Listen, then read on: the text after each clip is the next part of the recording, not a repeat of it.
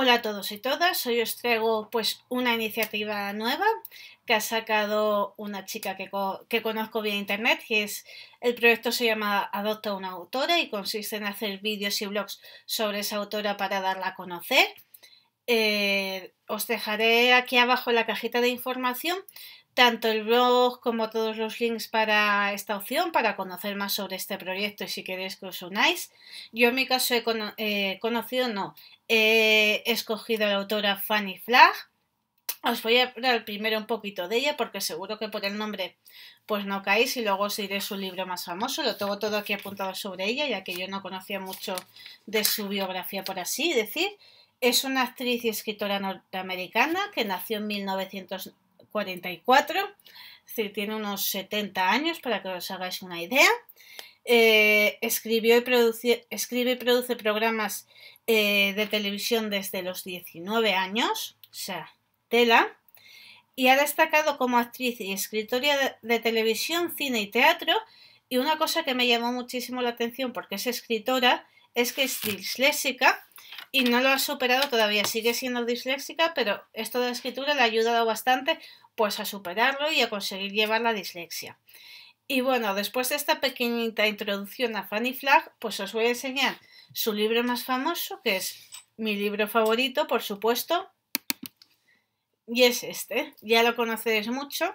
Es Tomates verdes fritos en el café de Whistle Stop.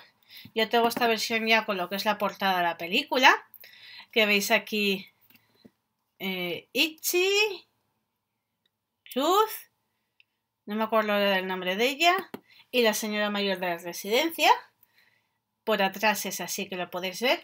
Y a mí esta es una versión que me ha encantado porque hay momentos que viene como de periódico, como si fuera de noticias de periódico. Ahí lo veis, el semanario de Dot Queens, que es como un semanario, una especie de, de periódico columna que había en la época, los años 40, porque este libro nos cuenta una historia de los años 40 y otra en la actualidad. En la actualidad tenemos a estas dos señoras y en los años 40 pues a estas dos chicas. Y se, es que esta señora le va contando la historia de estas dos chicas y del pueblo que tenía el café de Whistle Stop. Otra cosa que también me gusta del libro es que al final del todo nos trae recetas. Todas las recetas que van apareciendo en el libro están aquí, como veis, el bizcocho de suero de mantequilla, la torta de maíz a la sartén. Tenemos también tarta de coco, tarta de pacana, el pollo frito de Sipsi al estilo del sur, pollo con tropezones,